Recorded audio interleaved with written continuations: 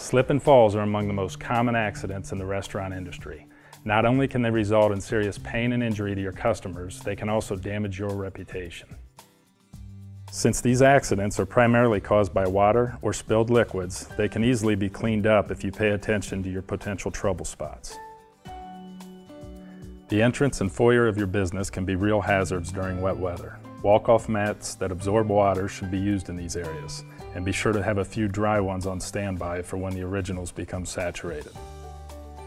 The walk-off mats won't capture all of the wetness. To be truly prepared for wet weather, have mops ready to take care of excessive moisture.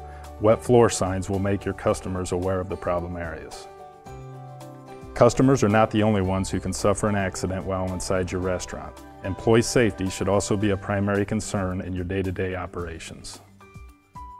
By creating a safety team made up of your staff members, you can ensure that your employees are aware of potential hazards and how to address those situations properly. The team should focus on things that can cause harm to people or their property. Cracks in the flooring could cause someone to trip and fall. Holes and or tears in the dining and lounge area seating could damage clothing or skin. If lighting conditions are poor, someone might stumble over unseen objects.